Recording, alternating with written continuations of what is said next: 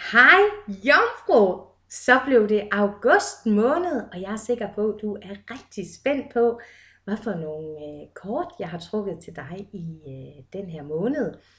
Jeg vil lige starte med at sige, at det her er en generel læsning, og hvis du ønsker at få budskaber kun til dig, så vil det kræve en privat læsning.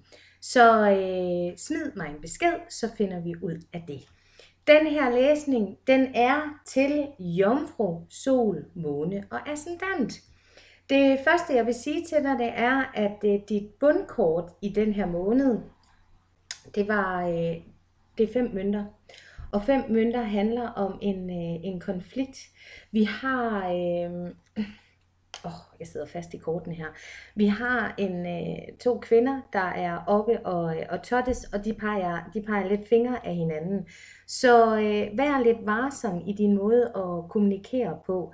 Øh, du kan godt fremstå lidt øh, øh, ikke særlig sensitiv i de her, øh, i de her dage, fordi at, at øh, Øh, Øh, så tænk meget over den måde, du kommunikerer på, den måde, du ligesom får overbragt øh, øh, øh dine, øh, din budskaber på. Og det siger jeg også, fordi at øh, du desværre også har syv stave, og syv stave handler altså om at blive trængt op i en krog, at øh, blive... Øh, det, det, det vil føles som at blive taget med, med bukserne nede eller med hånden i kagedåsen. Så der er altså en konflikt øh, under optrapning her i august måned.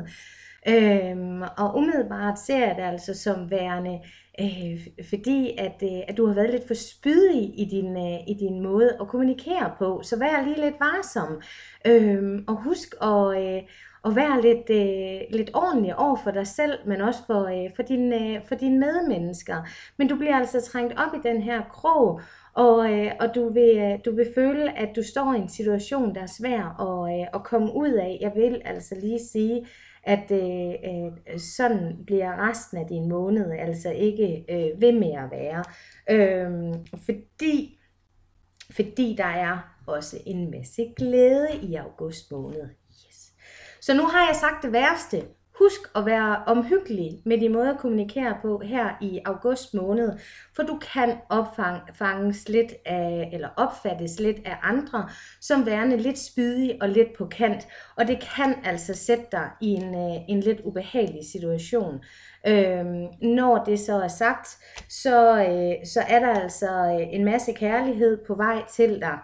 Øh, vi har The Lovers her, og, øh, og, og i det her tilfælde, der har Feen altså kastet sin store kærlighed på manden hernede, og, øh, og han er, øh, han er iklædt øh, rødt tøj og rødt øh, den her mørkerøde farve handler om begær, og det handler om, øh, om god sex, og det handler om virkelig at have en god kemi imellem hinanden.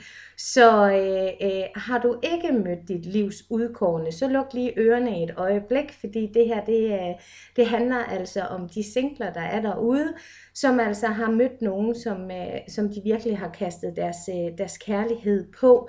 Øh, det siger jeg også, fordi at du har fået ni svær og hvis ellers jeg kunne få kortet op lige nu, øh, ni svær, der ser vi altså det her barn ligge i øh, en, øh, en, en barneseng, og, øh, og, og for, forældrene eller moren står og er sådan helt, åh, min elskede lille baby. Øh, så der er altså noget, der, øh, der overrasker dig.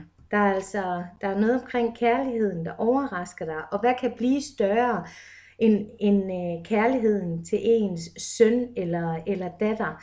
Øh, så måske, at, øh, at du er blevet bedsteforældre, måske du er blevet øh, mor eller far for første gang. Øh, det kan også være, at du har mødt din, øh, dit livs udkårne og, øh, og venter dit, øh, dit drømmebarn. Øh, men det kan også bare være et nyt projekt i dit liv, der, øh, øh der kalder på din kærlighed, der kalder på din moderlige instinkter, din omsorg, din empati. Øh, fordi det er nemlig også det, vi har med at gøre her. Øh, så, så, så, spørg, så spørg dig selv, øh, hvad hedder det, øh, hvor, hvem er det, der har brug for din omsorg? Er det dig selv, der har brug for, for din omsorg og din, øh, øh, din empati, eller, øh, eller er det dine veninder, kammerater? Øh, listen, listen er lang, men du skal mærke efter, hvad der føles rigtigt for dig i hvert fald. Det næste, det næste kort, du har fået, det er The Hierophant. Og The Hierophant er, øh, er manden, som du træder, der går ud i bjergene for at mærke efter sig selv, for at mærke efter inde i sig selv, øh, for at finde ud af, hvad, hvad, hvad, hvad sker der heroppe, og hvad sker der herinde, og hvordan, øh, hvordan kombinerer jeg alt det øh, lækkerhed, og al den usikkerhed, og al den frustration, og, og, og al den glæde, hvordan, hvordan kombinerer jeg den så, den, så det gør mig selvsikker, og så det, øh, så det giver mig styrken i mit liv.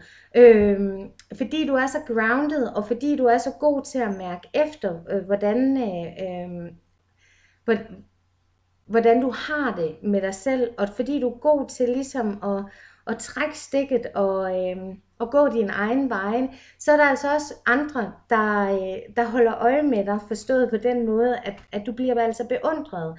Øh, så til trods for, at du kan være lidt spydig her i øh, august måned, så er der altså også nogen, der, kan, der virkelig øh, beundrer dig øh, for det menneske, som du står for, og, øh, og, for, og for de evner, som du har. Øh, er du, er du spirituel i, i øh, større eller mindre grad? Øh, øh, har du klaverjante evner? Er du, er du healer? Eller øh, interesserer du dig rigtig meget for det spirituelle, så hold særlig øje med, med stjernehimlen øh, øh, her i august måned, for der vil der altså komme nogle budskaber særligt til, øh, til dig her i, øh, i august måned, kære jomfru. Øh, det næste kort, jeg har trukket til dig her, det er The Wheel, også kendt som lykkehjulet. Øhm, det er en, øh, en lækker mandig øh, fe, der står her med hans øh, smukke vinger, øh, forklædt i, øh, i grøn, og grøn det er håbets farve, så vid, at, at selvom øh, det starter lidt øh, overskygget og, og, og med, med, med nogle anklager i, imod dig, og selvom at der, der vil være nogle konflikter øh, blandt, øh, blandt dine veninder eller, eller kammerater, øh, så, øh, så er der altså også enormt meget glæde, og, øh, og, der er, og der er håb for fremtiden.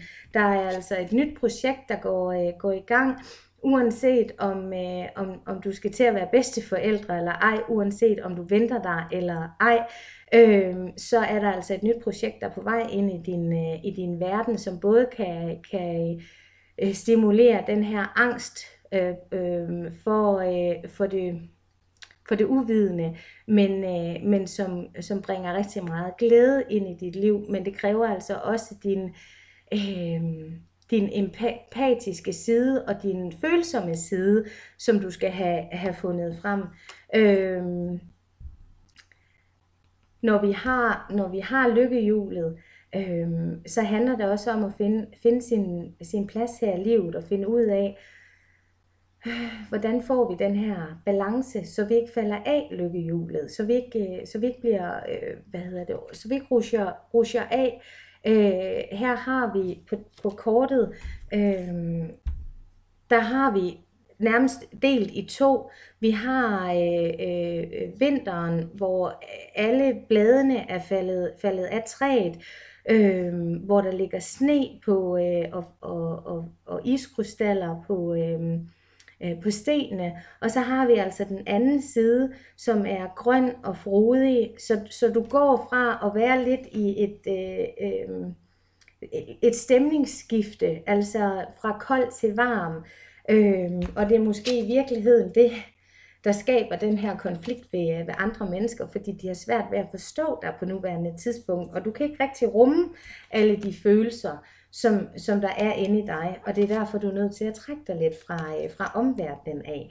Når det så er sagt, så befinder du dig altså i en rivende udvikling, fordi øh, The Wheel handler om den her balancegang. Så du, skal, du er altså ved at finde ud af, hvad for et ben du skal stå på, så du ligesom øh, kan, øh, kan, kan smelte, smelte den, den negative side, eller de, de svære sider inde i dig, sammen med de positive sider.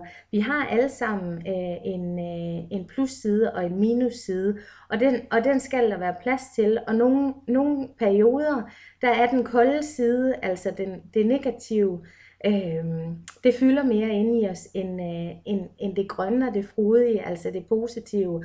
Så, øh, så vid, at, at du befinder dig altså i den her kæmpe udvikling, og det hele det konflikter inde i dig på nuværende tidspunkt. Men pyt med det, fordi, fordi øh, det er i kaos, al udvikling den sker, og du, og, og du er i den grad i, øh, i, en, i en kæmpe udvikling her i august måned. Det er fantastisk, så klap dig selv på skulderen for at være kommet så langt. Øh, vid, at du er velsignet, blessing, blessed signs, øh, site, blessed site, altså, jeg kan ikke, nu kan jeg heller ikke læse længere, det er min nye kort, det her i øvrigt. Og det handler om, at universet altså øh, berige dig med, med nogle af alle de her øh, øh, øh, øh, egenskaber, altså øh, jeg kan slet ikke få, få ordene ud af, af munden på mig, på mig i dag. Jeg, det beklager jeg. Øh, der, øh, der, der, der er rigtig meget lavendel på det her kort, så øh, øh, udover at jeg selvfølgelig har trukket en, øh, en krystal til dig, som du kan styrke dig på her i august, august måned, så vil øh, duften af lavendel altså også give dig et power boost i den grad.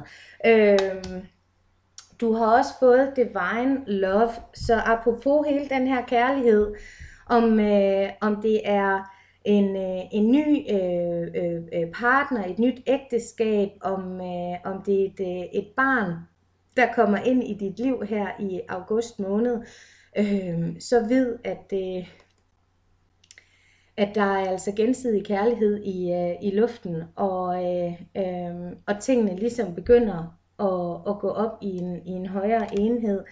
Vi, øh, vi har de fire cirkler her, og de, øh, og, de, og de danner altså et indre her. Så jeg har også lyst til at sige, at for nogle af jer, der kommer der altså også til at være en sambragt familie, bestående af flere enheder, der bliver bragt sammen her i, øh, i august måned. Det var meget specifikt. Det, det, øh, det gælder selvfølgelig ikke alle sammen, men, øh, men øh, øh, det gælder for nogen, øh, der har brug for, øh, for den besked. Øh, så, øh, så ved, at, øh, at du har også behov for support. Du har også behov for at læne dig op af andre mennesker. Så, øh, så smid facaden lidt. Lad være med at være så spydig. Og så, øh, og så sig hjælp, når du har brug for hjælp, eller læn dig op af de mennesker, som du stoler på, når tingene bliver lidt svært. For du kan ikke bære hele verden på dine skuldre, og det er der heller ikke nogen, der forventer af dig. Passion handler om den her store kærlighed, og, og, og det kommer altså til at skabe en steppebrand inde i dig, ligesom markerne i Sverige. Det er bare i positiv forstand, men, men det kommer til at konflikte inde i dig, fordi du ved ikke, hvad for et ben du skal stå på, men ved, at det er fordi, du gennemgår en kæmpe udvikling. Øhm, så masser af kærlighed til dig, det er jo fantastisk. Det sidste kort, jeg har til dig i den her gang, det er en unakit besvaret bønder af alt dit gode arbejde. Alt dit gode arbejde har åbnet dørene til guddommelige løsninger og støtte. Hvor heldig har man lov at være på sådan en fantastisk varm august måned. Det var, hvad jeg havde til dig i den her omgang. Tak for alle dine kommentarer. Tak fordi du deler og øh, hvad hedder det øh, og skriver øh, beskeder til mig. Det betyder utrolig meget for mig. Øh, kontakt mig, hvis du ønsker en læsning, og ellers så ses vi i september måned til endnu en læsning. Ha' det godt. Hej. Og, og inden jeg slutter, jeg holder ferie i uge 33 og 34, så der er jeg altså ikke til at komme i kontakt med. Så ønsker du en læsning, så skal det være enten før eller efter. Men øh, vi finder ud af det. Ha' det godt. Hej!